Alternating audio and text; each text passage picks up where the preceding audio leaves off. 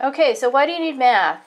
Uh, you need math for opportunity. If you plan to go to grad school now or sometime in the future, many graduate schools require the GRE, and interestingly, on their website, they actually now are doing a three year test um, pilot program, rather, of GREs for employers. So it's important that people are familiar with what's in the GRE. Um, this particular set of questions are quantitative reasoning. There's also verbal reasoning and two different essays, but for today, we're going to focus on this particular type of math problems, which are quantitative comparisons that used to be on the SAT. Uh, some of them, like this number one, are just uh, number theory, so prime numbers. Uh, number two is looking actually at something that's ambiguous. One of the answers here is the relationship cannot be determined. So this says that Lionel's younger than Maria, and which is larger, twice Lionel's age or Maria's age. The possible choices are A is greater, B is greater, they're equal, or can't be determined. This one is a is a can't be determined.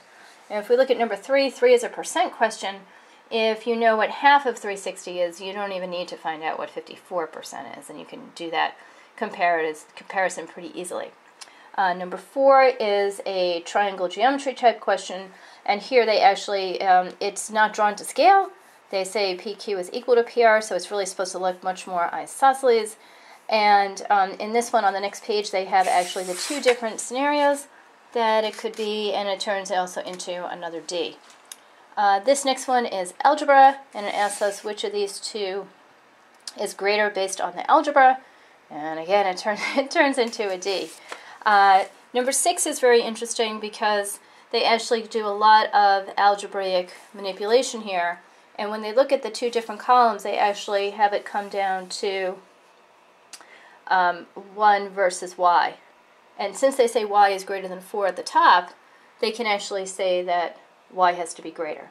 So um, this is a very interesting one because this actually looks like lots of algebra. Number seven is looking at exponents, and this is actually also really interesting because if you divide both of these by 2, this says 2 to the 30th minus 2 to the 29th. That would be 2 to the 29th minus 2 to the 28th. Well, it turns out that 2 to the 28th is half of 2 to the 29th. And it doesn't look like it should work that way, but it does. So this one actually comes out to, the two are equal, choice C. Uh, this one is another algebra one, this one actually turns into something really interesting when you do the algebra. It comes out to, on one side, a perfect square. On the other side, it has a negative number. Well, a perfect square can only be 0 or positive. So that one comes out to an actual answer instead of C or D. It comes out to A, where A is greater. And the last one is another algebra problem, which, similar to some of the other ones, goes through a whole bunch of steps.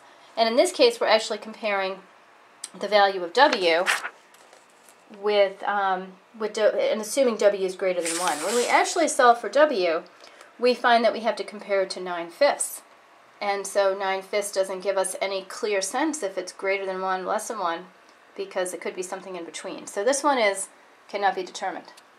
So the strategy, of, what they say here is the strategy of simplifying the comparison works most efficiently. We do the same thing to both sides.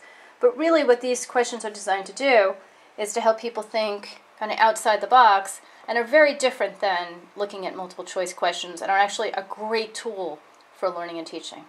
Thank you very much.